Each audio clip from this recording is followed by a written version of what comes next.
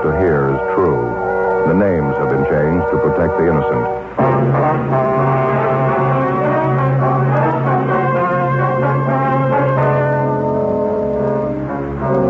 You're a detective sergeant. You're assigned to narcotics detail. A steady supply of high grade narcotics is finding its way into your city. For two months, you've been trying to run down the source.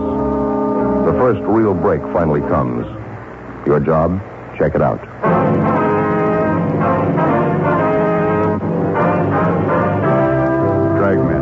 The documented drama of an actual crime. For the next 30 minutes, in cooperation with the Los Angeles Police Department, you will travel step by step on the side of the law through an actual case transcribed from official police files. From beginning to end, from crime to punishment, Dragnet is the story of your police force in action. It was Thursday, October 8th. It was hot in Los Angeles. We were working the day watch out of narcotics detail. My partner's Frank Smith. The boss is Captain Kearney. My name's Friday. It was 4.05 p.m. when I got to 318 West 1st Street, the first floor. Narcotics detail. Joe? Hi, Frank. You all threw up in court, are? Yeah, it went to the jury. I don't think they'll be out long. Well, I hope they hook him this time. He's overdue. I don't see how they can miss. You can't tell, though. Never know what a jury's going to do. Yeah. What do you got here? A Felony car brought him in about a half hour ago. Pretty high. What's he shooting? H. Must have had a big pop. Can't talk to him. Anything on him? Two caps. Had him taped inside the collar of his shirt. Crime lab analyzed it. Same stuff we've been chasing. European. High grade. Mm-hmm. He come up with anything? Nothing. He talks a lot, but he doesn't say anything. Why don't you take him on? I'll give it a try. Mr. Jennings, this is my partner, Sergeant Friday. Well, how do you do, sir? Sure happy to know you, Sergeant. Have a chair. Yeah, thank you. A cigarette? Yeah, don't mind if I do. I'll give you a light. Thank you. Ah. By the way, Sergeant, if you have any influence around here at all, I'd sure appreciate it if you tell this young fellow here to relax. He worries too much. Keeps telling me there's something wrong. Well, isn't there, Mr. Jennings? Well, no, of course not. It's not that I don't enjoy the boy's company, but I've got an appointment. Very important one, 11 o'clock this morning. That's so. Yes, very important. I have to be there at 11 sharp. You're a little late, aren't you? It's past four in the afternoon. Oh, no, it couldn't be. Clock on the wall right behind you. Hmm? Well, what do you know about that? That time sure flies. Well, they'll wait for me. Well, I better get a move on. Sure glad to have met you, Sergeant. Glad to meet you too, young Now, just a minute, Mr. Jennings. It's not that simple. You better sit down. But then I told you I have an appointment very important. Sorry, it'll have to wait. Sit down. All right. How about it, Jennings? When'd you have your last fix? What do you mean, when I have a fix? You know what we mean. Your arm looks like a punch board. Oh, the scars. yes, of course. I take vitamin shots. Hey, what's your doctor's name? Uh, Dr. Young, Eldon Young, down on South Hoover. You know his phone number, do you? No, I don't. It wouldn't do any good to call him anyway. No, why? Well, he's not there. He's dead. You sure of that? Well, ought to be. I went to his funeral. When'd he die? Oh, I don't know. Two or three months ago. Sure was a nice fellow. Fine doctor. That's a sample, Joe. Been rattling off like that ever since they brought him in. Well, not the usual run. He's sure not seedy looking, is he? Look, Sergeant, I, I don't think I quite understand this. What's this all But, about? Mr. Jennings, you're hooked and you're hooked bad. When'd you have your last fix? Well, to be honest with you, I don't quite remember. I, I'd like to make it clear, though, I'm not a bum. I, I'm not addicted to the stuff. You're not. Really, it's the truth. I can take it or leave it alone. I take an occasional shot. That's about the size of it. Where do you get the stuff, Jennings? I told you, my doctor. No legitimate doctor gave you the stuff they found on you. They don't dispense heroin. Now, how about it? How about what, Sergeant? You going to tell us the truth? Jennings? Well, frankly, Sergeant, no, I don't think I will. I'm not an informer. It's up to you, mister. We're going to find out sooner or later. I'm sorry, you're not going to find out from me. Now, now, look, let's not get into an argument, shall we? I don't have anything against you. Matter of fact, I like you. I, I'd like to get along with you. We're not going to argue, Jennings. It'd be useless to tell you that we're trying to help you. Are you married? Do you have a family? Yes, sir. Where do you live? Sorry, I can't tell you. I'm not dragging them into this. That's why I don't carry any identification. All right, Jennings. You want to get your hat? Let's go. Go where? Main jail. We're booking you in. Why? What for? Possession of narcotics? But I told you I'm not an addict. You can't keep me in jail. I only use it occasionally. Yeah, sure. Is there anything wrong with that? Can't see any harm in that, can you? Are you listening? One minute. Uh, I'll you that in the morning, will you? 4.38 p.m. The felony car officers who picked up the suspect, Jennings, took him to the main jail where they booked him for violation of the H&S Code, Section 11500. He'd been checked through R&I, but he had no previous criminal record. Knowing that he was bound to become ill, he was ordered into isolation, and the jailer instructed to notify the doctor in attendance if Jennings needed attention. 5.15 p.m. We went over to the crime lab and checked with Jay Allen, who'd analyzed the two capsules found taped to the inside of Jennings' shirt collar. He told us it was the same grade of high-test heroin which had been found in the possession of other addicts during the past two months. We knew it was of European origin. We knew it was finding its way into the city. We knew it was being made available to addicts. We picked up half a dozen pushers in the last few weeks with heroin of identical quality in their possession. But the basic source of supply still remained unknown. We were convinced that none of the pushers knew who or what the ultimate source was. The following morning, after Frank and I signed in, we went over to the main jail, signed out the suspect Jennings for interrogation, and he was brought to the interview room. His face was white and he was trembling. It was only a matter of time before he got worse, when the withdrawal pain set in. Morning, Jennings. I gotta get out of here. Nobody told me it'd be like this when I got started on the stuff. I can't stand any more of this. Bad? I'm gonna die. I wish I could die. Why can't they give me something? Well, we'll talk to the doctor. It's the best we can offer. He'll do what he can for you. Can you get it now? I'd like to ask you a few questions first. Then hurry, will you? I'm sick, awful sick. Where do you get your stuff, Jennings? What's the man's name? I don't know. It's the truth. I don't. How do you get your junk? Fellow named Eddie, bartender. I give him the money. He brings the stuff back. How much you pay for it? Six, six dollars a cap. I, I don't know what he pays. I pay him six dollars. Do you use it? Says he isn't. I don't know. I think he is. How about that, doctor? I can't take this. Where do we contact Eddie? Oh, Far on South Main near Fourth. One with a big airplane on the sign. What's his last name, you know? Eddie what? I don't know. I don't know. What's he look like? Tall. He's got blonde hair. Wears a big signet ring. Eddie, that's all I know. Good guy. He was trying to help me. Any idea where he gets the junk? I don't know, except one night I was with him. Yeah? Drove out to a little joint in Manchester beer garden. He went in alone. When we got back downtown, he had the stuff. I don't know. You know if he got it from a man who worked there, or do you think it could have been one of the customers? I didn't see him. I didn't go in. I don't know. You know anybody else who's in with this Eddie? Anybody with a dollar, he'd do anything for money. Hey, ever tell you where this junk's coming from? Who's bringing it in? Oh, I asked him once. He got a little sore. Said, what do you care as long as you get yours? I, I don't know. A cigarette, Jennings? No, no, if I could just rest. If, if I could just let go. Can't you do anything for me? Why did they tell you it's going to be like this? I'd like to have you help us. Now, as long as there are men like Eddie running loose, there's going to be men like you that he's going to feed on. How about it? Anything else you can tell us? That's all I know. I got the stuff from Eddie. Talk to him. No more questions, huh? One more, Jennings, about your family. Don't want to talk about it. Your wife called. She found out you were in jail. No. She's coming down to see you. She can't. I don't want to see her. Tell her not to come. We can't stop her. Caused her enough trouble. Twenty years of it. First the booze, now this. How long you been on it, Jennings? A year, year and a half. Been downhill all the way. Three kids. I don't know what's going to happen. Gonna lose our house. Lost my business already. All our friends. You don't know what it's like. We got an idea. No, you haven't. You got no conception. It's been hell. Nobody's gone through what I have. Lost what I have. Suffering. Year and a half of it. Really suffered. Nobody knew either. Nobody suffered the way I did. Nobody. I can think of one. What? How about your wife? Jennings was returned to his cell, and we contacted the jail doctor and briefed him on the suspect's condition. That afternoon, Frank and I drove to the bar on South Main Street near 4th, where we located the bartender, Eddie, whom Jennings had told us about. It was fairly apparent that he was under the influence of narcotics. We arrested him, took him back to the office, and began questioning him. A check with R&I showed that his true name was Eddie Hartsup, and that he'd had several prior arrests for possession of narcotics and one arrest on the ABC Act. Unlike Jennings, he broke almost just immediately. He wouldn't confess to being a pusher, but he did admit that he was an addict and that he was supplied by a Jules Zimmerlin, the owner of a German beer garden out on Manchester Avenue. He told us he'd met Zimmerlin through a mutual friend who was now doing time in Folsom for robbery. He identified the friend as Pete Heimer. We checked with records and found it was true. Hartsuck was booked in as a vag addict. Then we contacted Captain Larry O'Brien up at Folsom Penitentiary, who filled us in on Pete Heimer's background. After that, we checked R&I on the owner of the beer garden, Jules Zimmerlin. We found he was registered as an ex-con from Minnesota, where he'd done time for burglary and grand theft. After a meeting with Captain Kearney, it was agreed that our first move was to get next to Zimmerlin. I was to pose as a recent parolee from Folsom, a friend of Pete Heimer's. That night, I attempted to make my first contact with Zimmerlin at the beer garden out on Manchester Avenue. Waiter? Yes, sir. Can I help you? Yeah, draft beer. Bring me a bag of peanuts, too. All right, sir. Just a minute. The boss around? Sir? Jules, the boss. Is he around? I'd like to see him. He saw him around a minute ago. Yeah, there he is. I'll tell him. Right.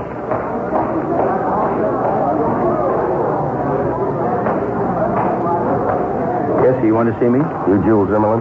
That's right. Jack Bronson. I'm a friend of Pete Heimer's. He told me to look you up. I thought Pete was in Folsom. Yeah, he is. I was in there with him, his cellmate. I drew parole about a month ago. Oh, I see. Uh, mind if I sit down? No, go ahead. Go ahead, sure. How's Pete making out? Doing all right? Well, it's kind of rough. He's fighting time, doing it the hard way. He's not young anymore, you know. Yeah, it's too bad. A nice fellow, Pete. Never did use his head, though. Here you are, sir. Draft beer, peanuts. Right. Mr. Zimmerman? No, nothing. Yes. Where you from originally, Bronson, L.A.? No, Detroit. What are you figuring on doing now? Going back there? No. I don't know what I'm going to do. I'm still looking around. Can't go back to my racket. That's the thing. That's so? Yeah, they got my MO tag from here to Seattle. What's that? Safe. That's all I ever worked. That's what I Do you mind if I... Uh... No, help yourself. Oh, thanks. Yeah, you've had tough luck. How much time you do? Do 10, 7 in, 3 out. You working now? Yeah, lumberyard. over How's there. that? I said a lumberyard. Must be easy. Your hands don't show any work. No, of course not. I don't go into that rough stuff. I'm a clerk over there. It's an easy touch, not much dough, though. Hmm, What are your plans? Got anything in mind? Oh, I don't know. Money. Pete told me if I ever got disgusted to look you up. No, I don't know. There's not much doing around here right now. I really tried to make it when I came out this time and play it straight. You want some of the these? street. No, thanks. You go ahead. Okay. Tried to play it straight, stay on the street. It can't be done. I can't punch a clock. It drives me crazy. Well, I wish I had something for you. Don't know the thing. It's rough, Bronson. I got an idea how you feel. I guess you ought to know. Pete told me. Said you fell twice back east. Minneapolis, wasn't it? He talks too much. Not only to the right people. Nice setup you got here, Jules. You must sell a lot of beer, huh? I get by. Orchestra, big layout, first cabin. Well, we got pretty good business going. Let's go kidding, huh, Jules? I need a job. I got to turn a buck. I wish I had something for Now, look, I didn't spend all that time in the joint with Pete for nothing. I know the setup. Pete says you're a right guy. I can do business with you. What do you mean? Just that. I got contacts up by Fresno, Red Mountain. Good contacts. A lot of money up there. Pete says you handle quality stuff, European. The stuff they're pushing up around Fresno is nothing. Real lousy. If we play it straight, we can both score. We score good. I don't think I'll follow you, Bronson. I think you do. If we get the right stuff up there at the right time, we can clean up. I know we can. That's so. I got a buddy who had a bummer ride to get up there four months ago. Now he's driving a Cadillac. Great business up there. It's fast and it's clean. Hey, you want another beer? I can't afford a stall in this, Jules. There's a lot of sucker money around, and I want a piece of it. Well, maybe we can talk, Bronson. I don't know. Might work out something. I'd like to get to know you. What's the pitch? I said I was a friend of Pete's, didn't Check with him, or don't you trust him? I haven't heard from Pete lately. I like to. Can't be too careful, you know. It pays to check things out. All right, go ahead and check. I just haven't got the time to throw away, that's all. I'm sure crazy about these peanuts. Well, I'll tell you. I might send the wife up to visit Pete this Sunday. She doesn't know him, but she can ask him about you. I hope you don't mind. No, I don't mind. I just want to get going. If You haven't got any junk to push. Put me next to somebody who has, huh? There's dough to be made, enough for both of us. I want to make it. You can't go wrong on the deal. You're smart enough to see that, aren't you? Talk fast, Bronson. Look, you're not doing me any favor. I'm doing you one. If you're not ready to move on the deal, just say so. If you are, okay. Well, it's a big rush. Take your time. Let's talk I about it. already have. How about it? How about what? You got this set up. Now, when do I get an answer? When I get one from Pete. 11.30 p.m. I traded small talk with the narcotic suspect, Jules Zimmerlin, until closing time. Then I left the beer garden, took a streetcar back to the room I'd rented in a small third-rate hotel down on South Broadway. The following morning, I got in touch with the office, and they, in turn, contacted Captain Larry O'Brien at Folsom Penitentiary and acquainted him with the facts of the case. He was told that Mrs. Zimmerlin would arrive at the prison to visit Pete Heimer the following Sunday, and that she had never seen Heimer before in person. O'Brien made immediate arrangements to have one of the officers at the prison pose as Pete Heimer and visit with Mrs. Zimmerlin. Heimer himself would know nothing about it. I spent the next few nights at the beer garden trading more small talk with the suspect, Jules Zimmerlin. The conversation included fishing, the liquor business, gambling, sports, everything but narcotics. I couldn't tell how I was making out with him, whether he was sold on me or not. I waited in my hotel room the following Sunday afternoon until Frank Smith called me from the office. He told me Captain O'Brien at Folsom had just contacted them. He said Mrs. Zimmerlin had visited the prison, that she talked with the guard posing as Pete Heimer, and that apparently everything had gone off well. 9.30 the following Monday night. I went back to the beer garden and met with Jules Zimmerlin.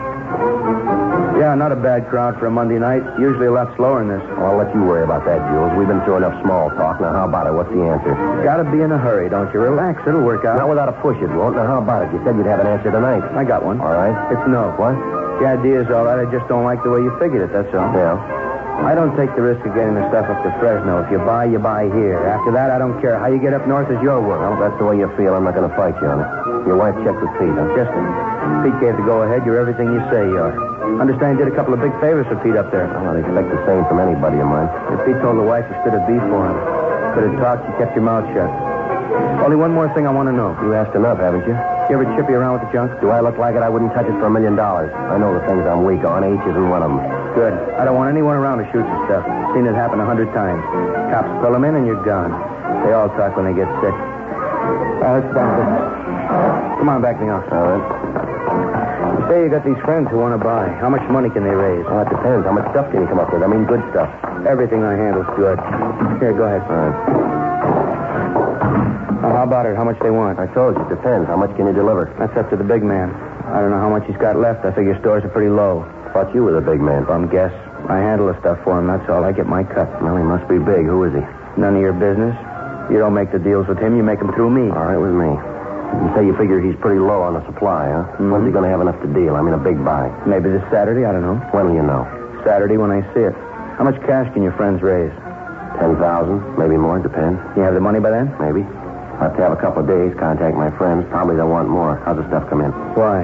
What do you think? Why? I want the right slant. Where's it coming from? I'm not going to get loaded down with Mexican stuff. We can help it. Uh, don't worry. European comes in by ship. Yeah, well, this doesn't gel for me. How do they get it by customs? They don't, I do. By the way, you doing anything Saturday? Why? I'll take a little run in my fishing boat. One of the boys is sick. I'll need another deckhand. What kind of sailor are you? I can make out. All right. Come along. We'll do a little fishing. You might learn something. Yeah. Smuggling's not as tough as it looks.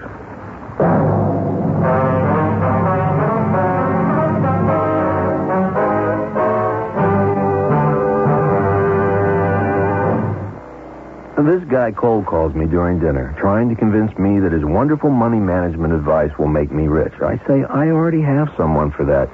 He says, Oh, yeah? What does your guy do for you? I say, Well, let's see. He helps plan my investments for long term growth. He administers my 401k, and he's got people managing my trust real estate holdings and dealing with all the zoning and entitlement stuff that drives me crazy. He can get me a million dollar line of credit to help pay my capital gains tax, and he can occasionally talk some financial sense into my brother-in-law. Well, there's this pause on the other end, and then he says, do you need any mutual funds?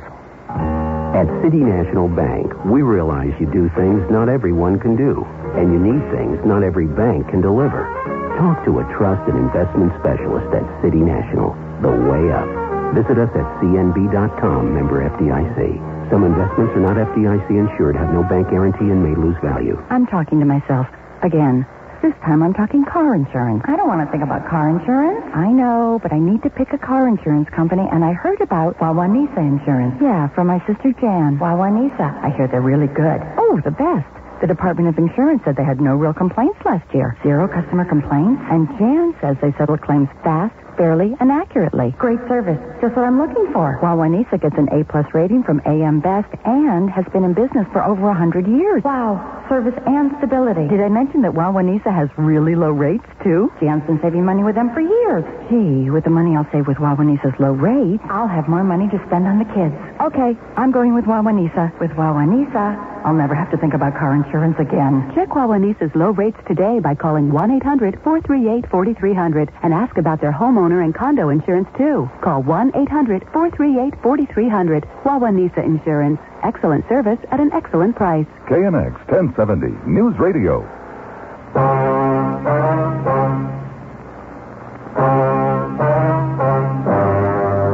Tuesday, October 13th, 9 a.m. I called the office and briefed him on the results of my conversation with the suspect, Jules Zimmerlin, the night before at the beer garden. Captain Kearney put my partner, Frank Smith, on the phone, and we set up a meeting for that afternoon. 2.30 p.m., I left my hotel room and took a streetcar downtown to Pershing Square. Excavating work for the new underground garage at the square was still going on. A temporary wooden fence circled the construction area. I went to the southeast corner of the square where a courtesy stand had been put up for the sidewalk superintendent. I stood around with a dozen other people watching the excavation. I waited. 2.45 p.m. Joe, how's it going? Hi, Frank. Not bad. Hey, they're moving this thing right along, aren't they? Looks like they got that hole just about dug. I think you're going to have to go deeper than that. It's kind of hard to judge from up here. Looks deeper than it really is. Well, I had some pretty good luck last night. That's what I hear. How's it shape up? He told me the stuff's been coming in by ship. Zimmerlin did. I think maybe he's telling the truth. How do you think they're working? I don't know. He wouldn't say. Might have a chance to find out this Saturday. What's the pitch? Well, Zimmerlin's got a boat. He offered to take me out this Saturday. He mentioned they're expecting a shipment of the junk the same day. Uh-huh. Could be he's got some connection on one of the ships coming in from overseas. He takes his boat out, meets the ship, and somehow they transfer the junk without attracting attention. Any chance you can get the name of the connection, if there is one, I mean? I'm going to try. Supposed to be a big man in the setup, too. I haven't got his name yet either. Somebody over Zimmerlin? Yeah. You handle the details for Saturday, will you? I'll keep you brief. Okay. Check on all the ships that are due into Wilmington Friday and Saturday, will you? I'll find out where Jules keeps his boat moored, and you can make arrangements to have the dock area covered and notify customs, too, huh? Right. You any kind of a deal set up with Zimmerman yet? Yeah, I'll buy for 10000 I'm supposed to be making it for friends up in Fresno. Tell the captain I'll need some dough. How much? Well, you can rake together, a thousand if you can. You know, small bills make it look big. Right. I'm a little worried, Joe. Things seem to be rolling out too fast. How do you mean? Possible Zimmerman might be wise. Maybe he's just stringing you along. You're not going to be able to follow you out in the bay, not without tipping the whole thing. Yeah, I know. You're going to be strictly on your own on that boat. If Zimmerman's wise, he and the gang will be in a perfect spot. Maybe we could set it up to have a boat standing by if you need help, maybe half a mile away or so. Well, might scare him off, ruin the whole deal, Frank. Yes, it's the trouble, Joe. If they're wise and they get you out on that boat, they got you cold. They won't give odds on your chances. Well, then we're even. Hmm? I'm not giving any on theirs. The rest of the week, I spent the days in my hotel room and my nights at the beer garden setting up the buy with Zimmerlin. Thursday night in Zimmerlin's office, we agreed on the final details for the buy. In the process, I succeeded in finding out the plan for the meet. At 2.30 Saturday morning, Zimmerlin, two of his gang members, and myself would board his boat at a private dock in the San Pedro area and proceed five miles out from shore. How the actual transfer of the narcotics was supposed to be made, I still couldn't find out, but I did learn that Zimmerlin's main contact on the deal was a Marcus Torricelli. He was supposed to be a steward aboard an inbound freighter.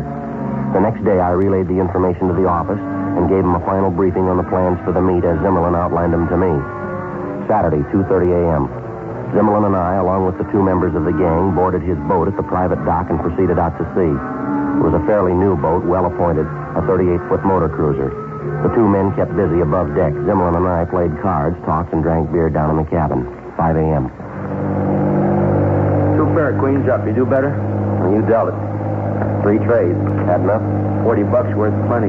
Want another beer? No, I got a headache. What time you got? Hmm, later than I thought. Twenty after five. Let's go topside gear. About time we start looking around anyway. Come on, I better get up there check our course. All right. Sure nice boat you got, Jules. Just set you back plenty, huh? Wouldn't believe it. I got it insured for twenty thousand, cost me five hundred. You paid $500 for this? Yeah, a society woman owned it. Husband left it to her. She got hooked. Oh. One of my best customers. Spent everything she had on the junk. I got this for five hundred dollars worth of age, high grade. What's she do for stuff now? She doesn't need it. She's dead. Really a nice boat. Never enjoyed anything more in my life. Just a minute. What's the matter? Yeah, must be it. Uh huh. What are you talking about? That's a freighter. A couple of points off starboard. Oh, yeah. Uh huh. George? Hey, George. Yeah, Joe. Okay, I see it. Want a signal now? No, hold on. Let's make sure. Hand me glasses there, will you? Yeah. Here. Thanks. Have a look here. What's fit? Just a minute. Yeah, Panamanian flag. That's it. Very no. All right, George, let's try. Swing around. Okay, Jules. Give the rudder hard right. Three complete turns. Keep astern of her. Right. Neat setup, Jules. What happens now? And another pair of glasses there. Watch for yourself. Oh, all right. Delivery comes from the ship, huh? Big boy on board? That's right. On board here. You really had me fooled. Let's keep it that way. Tell you the truth, I thought you had it figured. No, I didn't. I'll swear with you.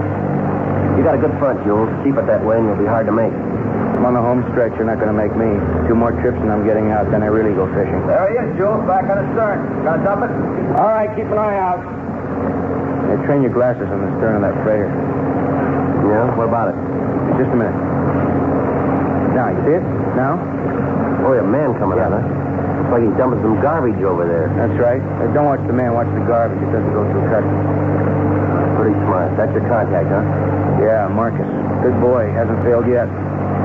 All right, George. Move in. Get the net. Ready for the pickup? All ready, Jules. Still, I just can't get over it. It's sure smart. How do you keep the junk dry? No problem. Just dump the package over along with the garbage. Waterproof wrapping. Hey, keep your eye on it, that's all. Yeah, I got it spotted. All right, George. Hand down the net. Here you go. Yeah. All right, coming alongside. Hold it steady. I got it. All right, let's go. George, let's go. Okay. All right, Bronson, down below. Okay. Sure make it look easy. All it takes is a little savvy. Now, let's have a look here.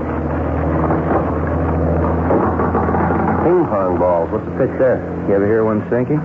Oh, yeah, sure. Three, four. Yeah, all here. Good delivery.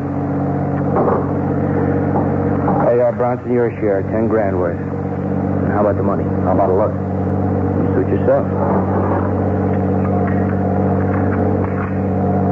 All right. Okay, fine. Well, about the money? I don't know. I'll give you a thousand now. What do you mean a thousand? There's ten grand here. That's what you wanted. Take it easy, will you?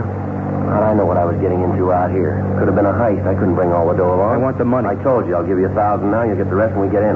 Wait, if there's something wrong here, I don't like this. I'll call George. We'll head out Relax, again. Relax, will you, Jules? There's nothing wrong. Don't try to con me. I'm not taking a chance. There's something All wrong. right, hold it right there. I'm calling George. Call him loud first time. You won't get a second one. Nice gun. Fuzz. Lousy Now, you go back and sit down. No, right where you are. Hands on the table.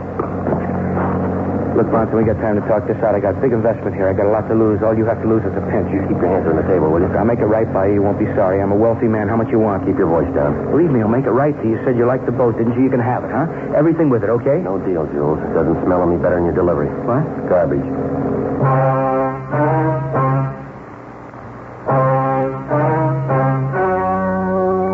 The story you have just heard was true.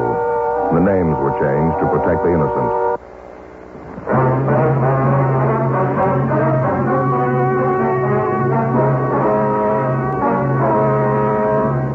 Zimmerlin, his contact Marcus Torricelli, and the other two members of the narcotics gang were filed on in the district attorney's office for violation of the state health and safety code, section 11500, one count.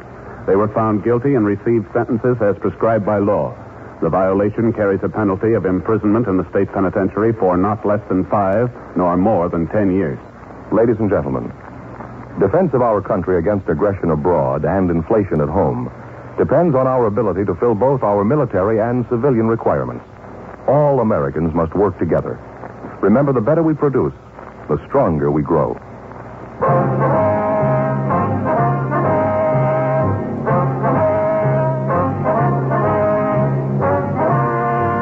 You have just heard Dragnet, a series of authentic cases from official files. Technical advice comes from the Office of Chief of Police W.H.